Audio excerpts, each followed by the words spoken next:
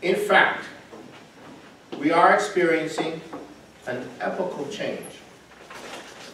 The period of nearly 600 years since the Italian Renaissance and the emergence of the sovereign nation state, in which oligarchical forms of government and governments committed to the common good existed side by side, is coming to an end.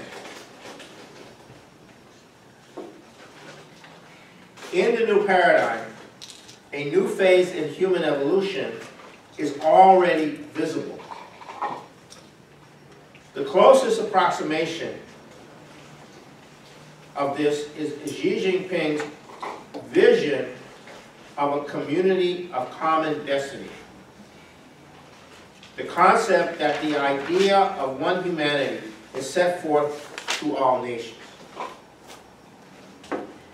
The economic equivalent of the new Silk Road, in which all sovereign nations work together on the basis of cooperation for mutual benefits. Um, so I want people to step back before I get into specifics and have a, a, a, a big historical sweep on this.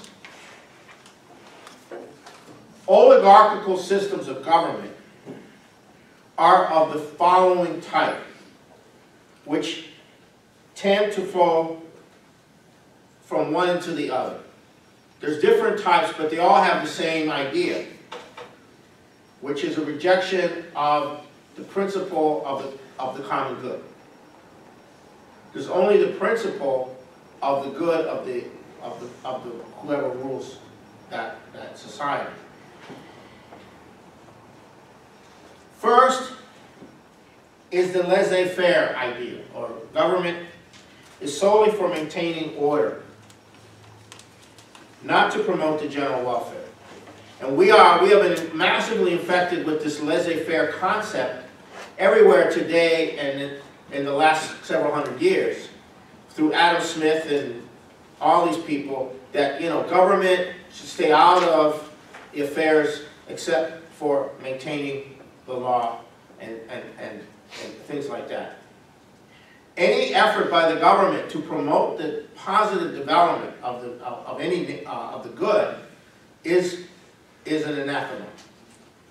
And, and, and, and this, this has been hounded in and hounded in and hounded in and, and pounded in, you know, to the point that it's, it's almost, people talk, say that as almost like, like they were uh, reciting, you know, the Lord's Prayer or something. It's, it's that bad, okay?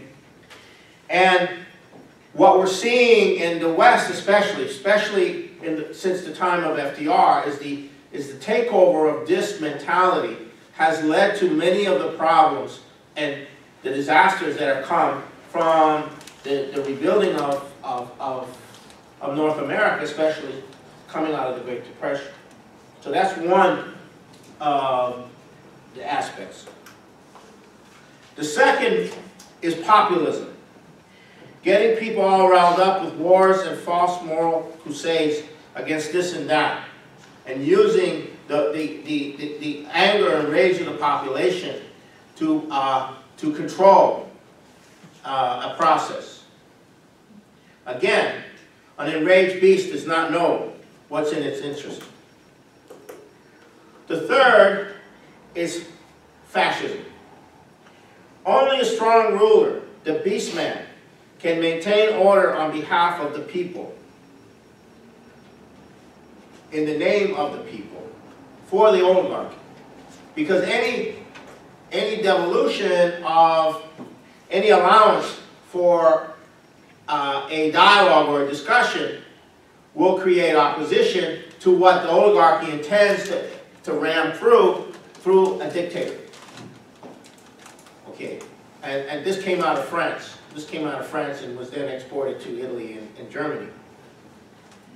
The fifth is the divine right of kings in the past to do whatever they want. And power flows from the, the well, the will of the king or emperor.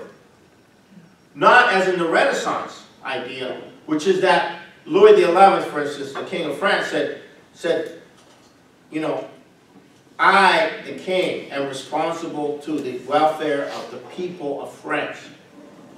Okay? That was his view, not the divine right of kings. Six, is the divine right of the theocracies, like the Church of England, headed by today's queen, or by the earlier Catholic Church concepts of ultramontism, where uh, the church determined the legitimacy of any leader.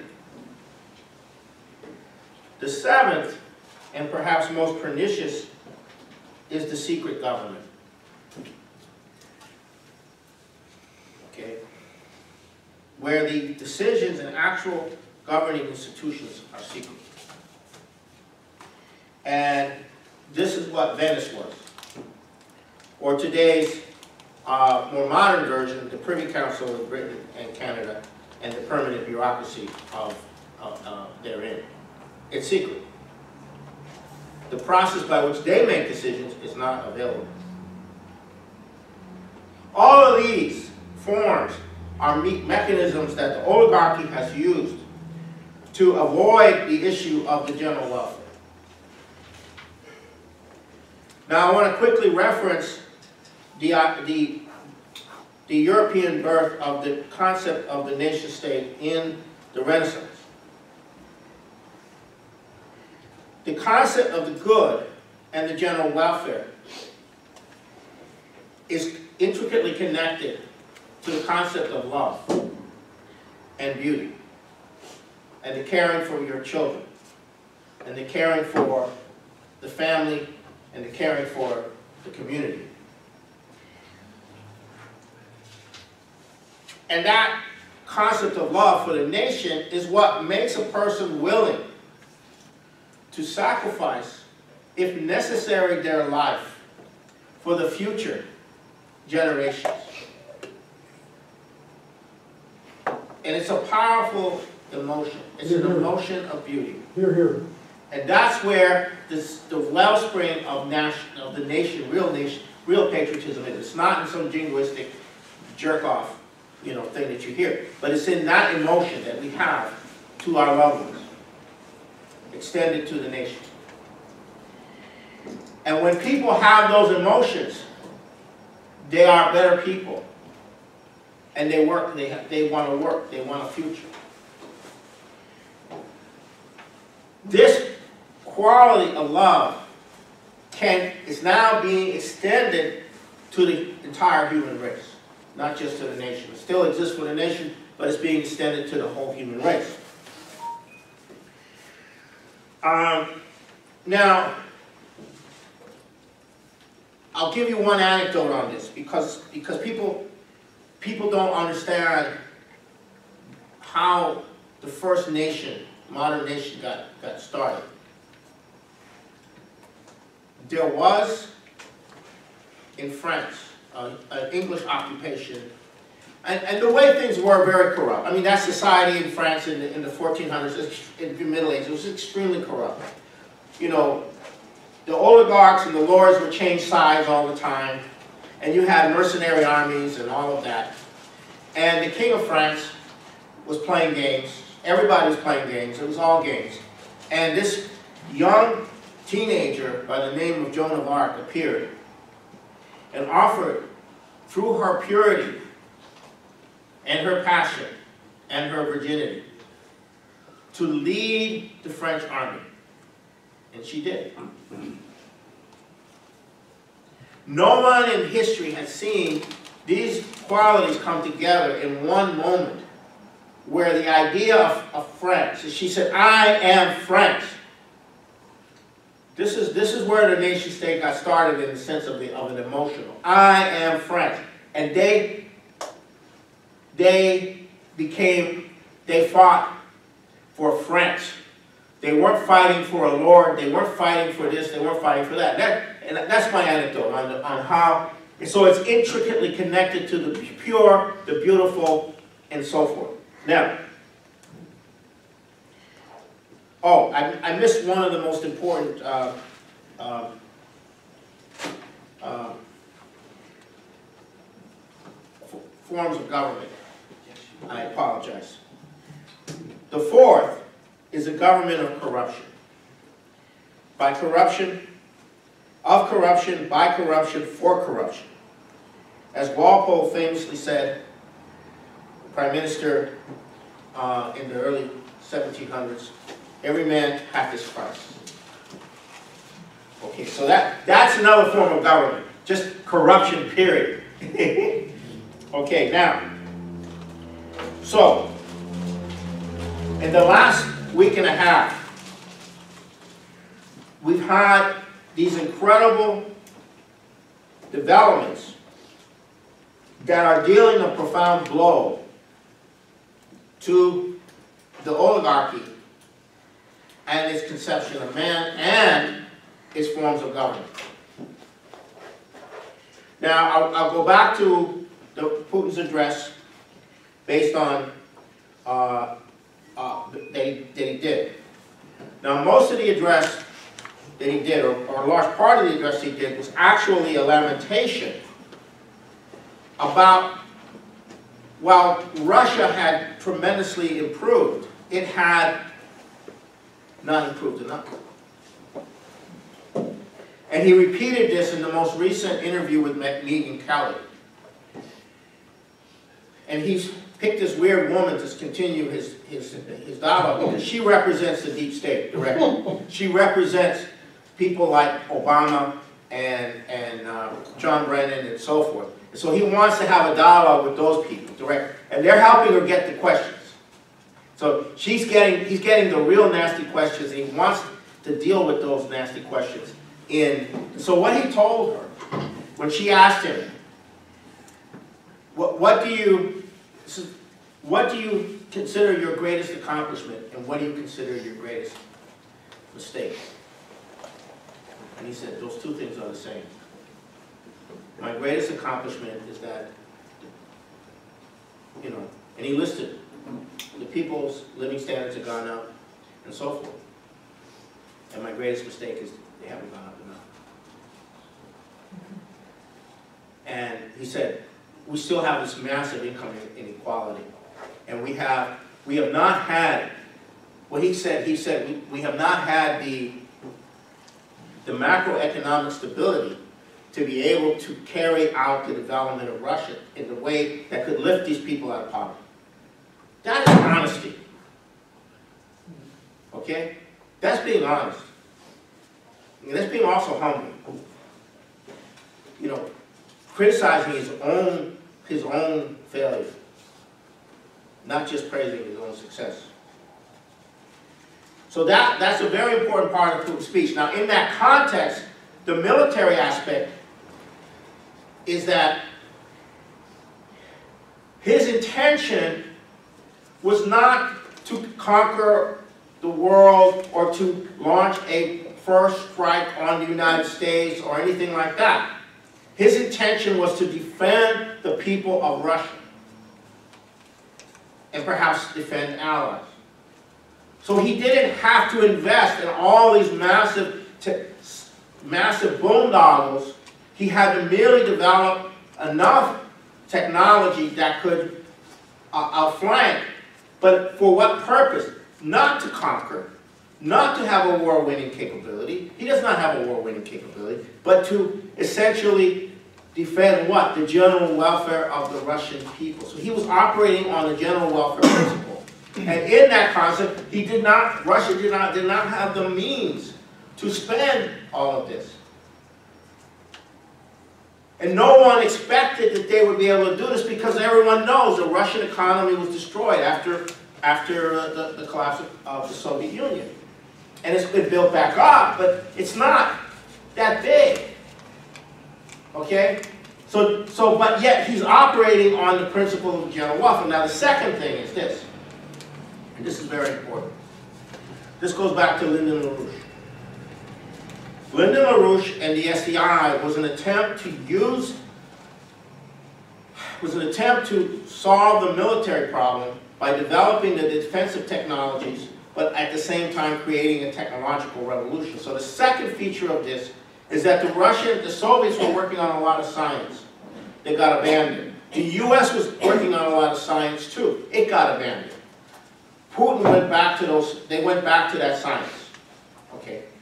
And what's important about these technologies that, that Phil was talking about is that they have incredible civilian applications. So the, so the, so what Putin laid out in the speech is that we're going to move Russia in a leapfrog to build, to develop the technology and the science, not because we, we want to be first in, in, in the military capability, but the two go together. You want to be, you want to build your economy, you want to implement the general welfare for your people. Therefore, that's the only way you can go, is to, is to do it in this way. This is LaRouche. This is the, what LaRouche has been saying for 50 years.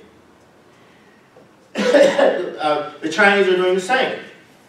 That is completely in contrast to the way things have worked in NATO, in the US, in Europe.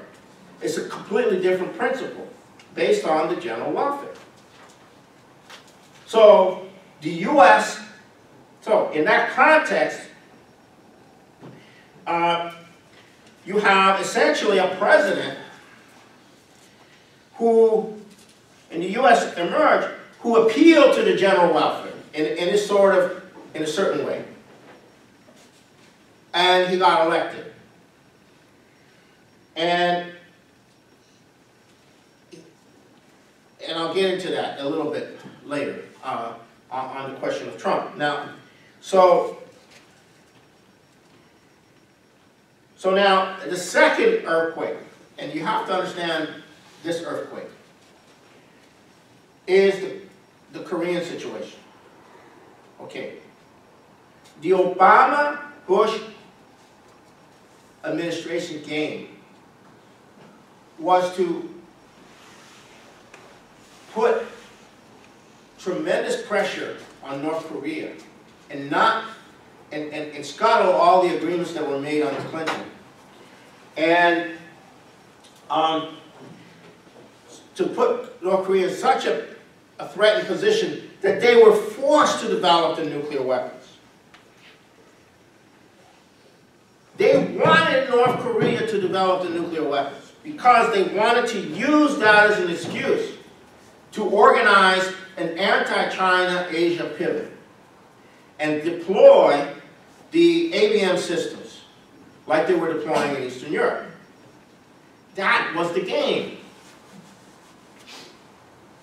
So Obama had a policy called strategic patience, which means we don't talk to North Korea. We threaten North Korea, but we do not talk to North Korea. And so what this does is it creates, it creates extreme paranoia in North Korea. And then you had these right-wing governments come in in South Korea to, to make it worse. After the, you know, they abandoned the sunshine policy that existed in the late 90s and, uh, and so forth. And that was the game. Now, the, what, they, what, they were, what they were doing was going to Japan and getting Japan to go against China. And they were then using certain uh, things that were pissing off China involving the World War II. So you had this tension building between Japan and China. You had tension building between J Japan and Russia. At that time, the relationship between Russia and, and China wasn't necessarily that friendly. I mean, it was friendlier than it was when they had a war, a border war, but it wasn't that friendly. And then they were working on Vietnam, and so on and so forth, and South Korea. So you had, the South Koreans still, still resent what the Japanese did to them. You know, so you have all these different, different things that are not working. And finally, the Belt and Road comes in, Russia and China start working together, then Russia starts to organize Japan into the development of Siberia, and so on and so forth, and that whole process starts to change. And then Trump became president. And Trump didn't pursue the policy of Obama. What policy he pursued, nobody's not 100% sure about. he, he, did not continue the policy of, of of, of Obama. Okay, so, so now, um, so, so, Now the media is going to go berserk, the mainstream media is going to go attacking Trump for appeasing dictators and, and God knows what. And you know, he's like, are two pods in the pea, two peas in the pod, and all this stuff. And, and, and, and you can expect that. You can expect that. You know, they're both, you know, totalitarian oriented and all that, all of that. Oh, Kim, uh, Kim Jong-un killed his brother and we're putting in more sanctions and, you know, half-brother and all this stuff. Like, you know, as if somehow that's that's what reality is. But what's, what, what's happening is that Kim Jong-un is, is willing to give up his nuclear program. Now, why is he willing to do that? Because if he can be guaranteed the security, they don't want to be spending all this money in that area. They want to go for economic development. They got a, they got a population that needs, that needs some economic development. That's what they really need. And they're not going to be able to do that if they have such an, uh, uh, uh, an immense investment in their military. So that's the, that's the second earthquake. The third earthquake is, occurred in Italy. And um, there are four basic parties that are the largest parties. Um, the two major ones uh, were the Democratic Party of Renzi and the Forza Italia of, um, of Berlusconi. And then you had the uh, party of Five Star Party, which was formed by a comedian who had, had a criminal record and couldn't be, um, he couldn't run that's, he formed it. And that party was led by a 31-year-old. And then there was the, the, the regional party called the Lega Nord, which is in the north. And what happened was the Glass-Steagall issue was picked up by elements of the Lega Nord and elements of the Five Star Party, and the issue of Europe, of the of, of, of, the problem of possibly leaving the euro was picked up, the European Union, and the other parties represented the bankers, and both both Forza Italia and um, the Democratic Party went under 20%. They got crushed. And the other two parties came up. 32% for the um, the five star, and I think 17% for the for the uh, for the for the Lega Nord, which is a regional party, and it did well in the north, but in the poorer south, the uh, five star party took took it down. Now, a lot of the, these leaders of that party signed a, uh, a letter that we organized to, to uh, Donald Trump asking him to adopt a Glass-Steagall in the United States and a, and, and a bank. So, so this crowd, so now it's Italian, I'm not going to predict anything. Italian politics is not something that is predictable. Uh, there's too much going on, so I'm not going to say, but, but the implications is very significant. That the population uh, is responding to this in this way. Now, the fourth major development, uh, which is already coming under attack in many quarters, is there was a conference in Nigeria, in Abuja, Nigeria. And it was a conference on Transaqua. And two of our representatives flew down to Nigeria and were involved in the conference. It included a number of the governments in the region and the Italian government and the two major companies involved. Power China, which is committed to building the, uh, the, the uh, Transaqua, it built the Three Gorges Dam. Okay, so it has a lot of experience. And uh, the Schiller Institute uh, uh, is, is, um, is credited with having brought Power China together with the Italian design company which had designed the whole thing, uh, Bonifica.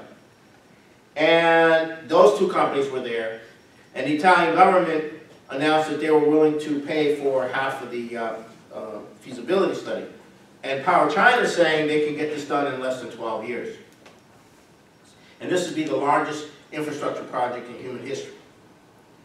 And it would bring the water up from the uh, Central Lakes I mean, from the, from the central Congo area up to Lake Chad, refill Lake Chad. Uh, it would be a large canal, and it would bring water north. It would deal with the, the desertification problem, and provide a lot of hydroelectricity, and it would transform, economically transform the entire region, which is dying right now. Lake Chad is dying, and, and, uh, uh, now, already, there's two attacks on it. There's the environmental attack, and there is the attack saying, well, you want to steal our water from, from within the, the, you know, the, the, where the water's gonna come from. But that's all, but that's, but that's, a, that's an earth, that's an earth shake. Uh, now, the, the question of Trump, okay, is this. Is Trump, in his own peculiar way, an embodiment of the spirit of the general welfare, or is he an embodiment of the spirit of the oligarch? That's the real issue. That's the fundamental issue. Uh, his imperfections are pretty obvious, but where is his intentions and what is his what is he what is he being guided by? And that's what the question that people have a hard time answering. Okay. But obviously the oligarchy is not happy with him, so so obviously they don't necessarily believe he's an embodiment of their intentions. now, I'm going to go through now at the end. This, this is not a very long presentation. I want to open it up for questions. I want to go into two aspects of the British system, or this current imperial system. Um, the first is, deals with creating and controlling the narrative. The second is what I call British morality. British morality. It's very important. Okay, the first is you establish a control over a narrative about a situation. Okay, you do this in the sciences, you do this in the academic world, you do it with history, you do it in anthropology, you do it in archaeology, you do it in, in, in biology, you do it in, um, you do it in every area, politics. So, in politics, the narrative is left and right. Okay. Communism versus capitalism. These are big narratives. Okay. In international affairs, it's geopolitics. That's the narrative. That's the narrative. You control the narrative. And you, you, you, you, you, you don't spend the money that you raise in, you don't spend the money that you raise in, in, in creating weapons of mass destruction necessarily. You spend the money in controlling the media, in controlling the, the, the, the academic institutions and so on and so forth. That's how you do it. So, now, and the narrative is set up such that anyone who decides to challenge the narrative and say, no, the issue is the general welfare, not left and right, not this or that. They stand out from the crowd and you go after them. To keep the box in. Whether it's the Middle East box, the North Korean box, whatever the box is, you keep people in that box. The West, East versus West box during the Cold War, you keep people in the box. That's a very cheap way of controlling the world. You don't have to have a conspiracy. You just keep the narrative, you control the narrative involving history. Those aspects that contradict the narrative, you basically suppress. The early works of Alexander Hamilton, you suppress. What Lincoln actually did, you suppress. You lie about FDR, saying he was a Keynesian or whatever.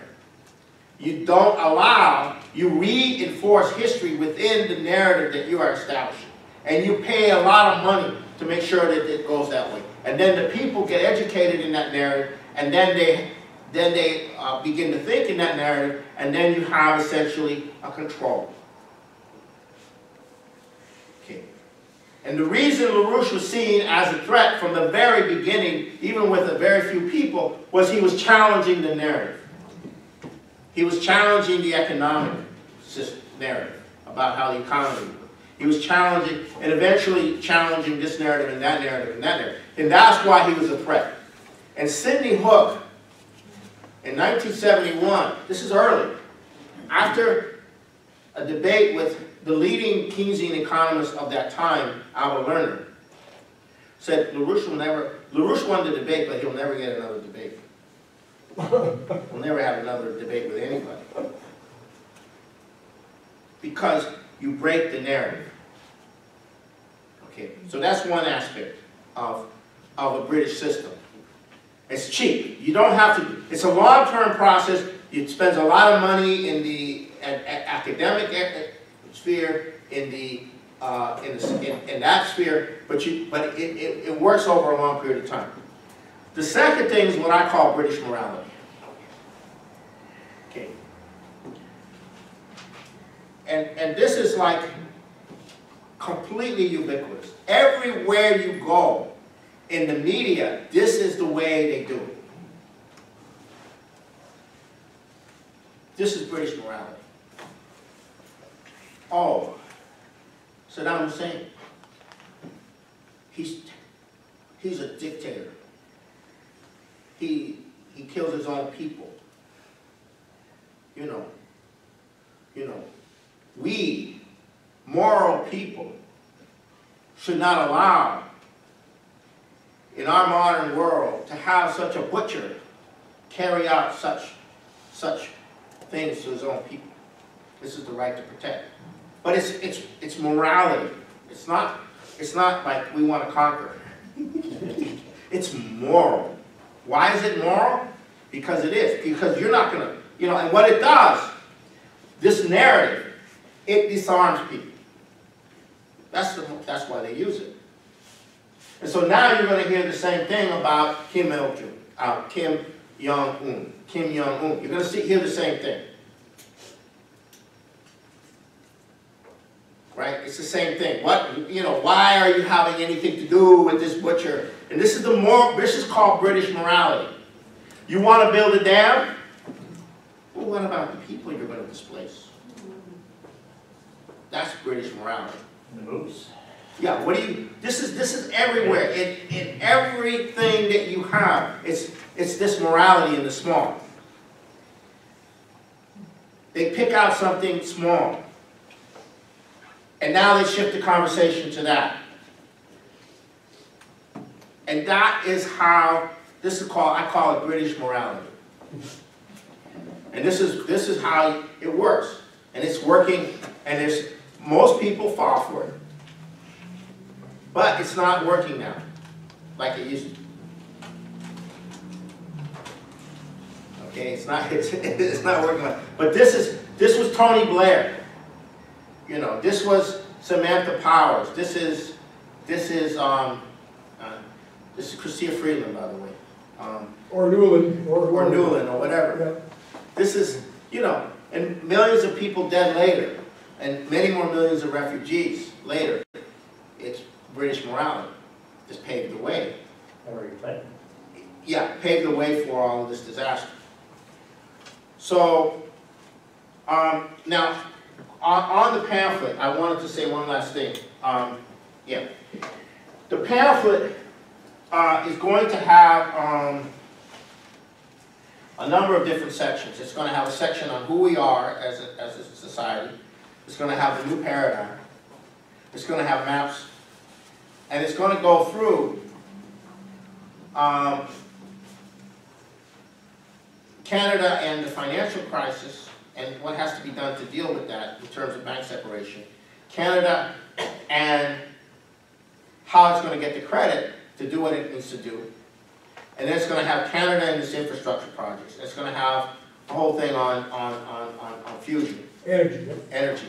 And, uh, and the concept that we want to have is we want to have a unified development policy for Canada as a whole in the context of the new paradigm.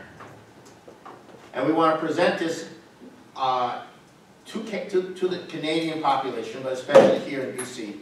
And we want to start the process with the people that we've already built uh, a certain inroad into.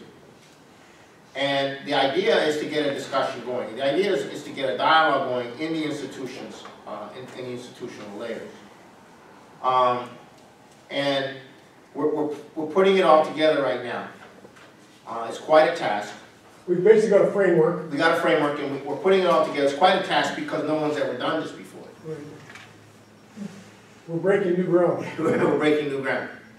So, and, and, and And so, I, I, I didn't speak for very long, but I'll, I'll stop there.